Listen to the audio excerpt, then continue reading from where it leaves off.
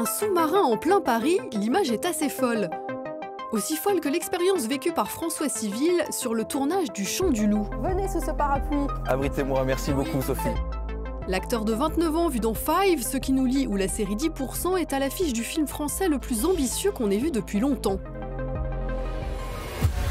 C'est nos frères en face là. C'est pas nos frères, ce sont des marins ce genre de tir. On n'a plus le choix.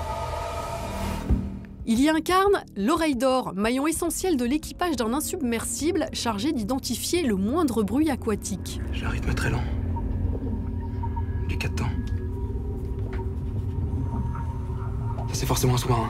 Il y a pas de sous-marin à quatre pales. Je sais. On n'est pas dans la rade de Brest, on est euh, à la Cité des Sciences et de l'Industrie en plein Paris. Je vous présente l'Argonaute qui a été pendant 30 ans un des principaux sous-marins de chasse français.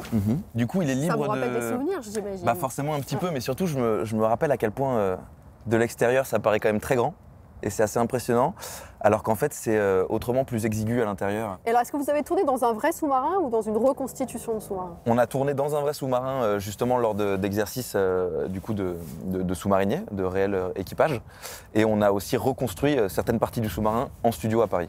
Bon, vous allez m'expliquer, on va s'engouffrer dans les coursives. Il hein. faut que je me souvienne un petit peu, mais je vais essayer. ouais.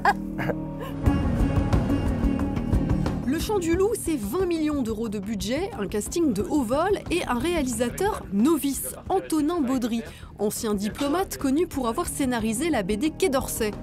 Mais pas une once d'amateurisme ici, bien au contraire. Haletant ultra réaliste, ce thriller en eau profonde va faire date, y compris dans la carrière de François Civil qu'on va beaucoup voir au cinéma cette année. Que de souvenirs. Comment on s'adapte à des conditions euh, de tournage aussi exiguës? Il paraît que vous, vous aviez un chorégraphe. Ouais, en vous effet, alors, apprenez à vous mouvoir tous ensemble. Ça, du euh, coup, c'est. euh, bah, en effet, les, les- les- les conditions de vie des sous-mariniers sont tellement euh, compliquées, c'est un espace tellement exigu que forcément, euh, on est très vite intime avec les gens. On partage des bannettes pour dormir, vu qu'il y a un système de quart, de rotation de sous-mariniers, elles sont partagées. Et par conséquent, voilà, ça crée, ça crée tout de suite des liens forts entre les gens et, et- et entre leurs corps. Et c'était important pour Antonin que chacun ait son identité, mais qu'on évolue aussi comme une, comme une seule et même personne un quoi, à l'intérieur. euh, Exactement. unique. ouais. Mm. C'est un monde auquel on a quand même un accès euh, facile ou enfin, vous avez signé des papiers secret défense euh, de confidentialité Euh, je crois que pour, euh, pour accéder à la base de Brest, euh, qui loge en fait les SNLE, les sous-marins nucléaires lanceurs d'engins, donc porteurs de la bombe atomique. sur maintenant êtes un pro du, Bah, c'est ça, maintenant, tout, le, tout le jargon, bien sûr, évidemment. Euh, pour entrer dans cette base de Brest, euh, qui est euh, hyper sécurisée, l'armée a fait une enquête sur le passé de chacun des gens de l'équipe pour être sûr que voilà qu'on valide tout bien. Donc ouais, il y, a- il y a quelque chose de l'ordre du, du secret, du mystère. c'est très opaque comme, comme monde. Donc d'avoir la chance de rencontrer ces gars-là et de, de visiter ces endroits, c'était fou.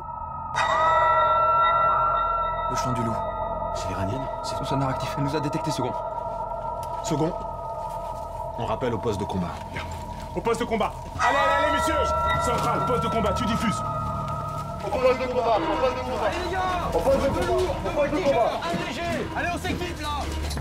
Il y a euh, Le Chant du Loup.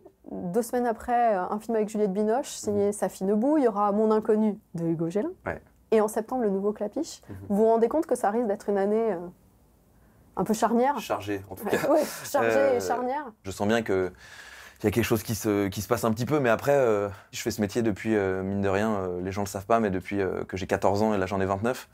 Donc euh, j'ai eu le temps de- d'avoir des années où je travaillais plus, d'autres où je travaillais moins, donc euh, pff, je le- Vous ne vivez pas comme ça. non, je j'y réfléchis pas tous les jours. Quoi. Alors, vous, vous êtes acteur depuis que vous avez 14 ans, c'est ça? Je suis acteur, en tout cas, j'ai commencé à travailler à cet âge-là. Mais alors justement, à partir de quand est-ce que vous avez pris ça au sérieux Beaucoup entre plus tard. Ouais, beaucoup plus tard. euh, je sais pas si j'ai de date euh, décisive, Non, mais je sais un que. film ou un rôle qui a un peu changé les choses Ma rencontre avec euh, Igor Gottesman et Pierre Ninet, euh, qui s'est passé quelques années avant qu'on fasse le film Five, mais on va dire que voilà, d'être au contact de, de- de gars qui voulaient vraiment faire ça depuis plus longtemps que moi, et donc en fait ça m'a donné un espèce de souffle et une énergie pour, pour, pour continuer, ouais. Mais ça veut dire qu'avant, vous y alliez un peu en dilettante? Complètement, Vous vous souvenez de votre premier casting? Bien sûr. C'était quoi? C'était pour euh, Le Cactus de Gérard Bitton et Michel Munst. Et je me souviens d'un énorme stress en fait. Euh, J'étais, euh, enfin je le suis encore, mais c'est-à-dire que moi c'était maladif quoi. Je, je vomissais avant les essais, ça me rendait malade. Ouais. Ouais, donc euh, en fait beaucoup de stress quoi.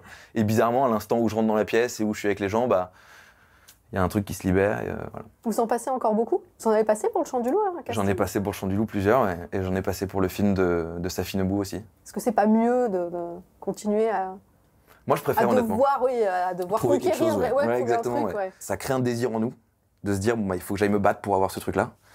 Euh, et puis aussi, euh, il y a quelque chose de rassurant quand on a le projet de se dire bon bah il a vu ce que j'allais à peu près en faire.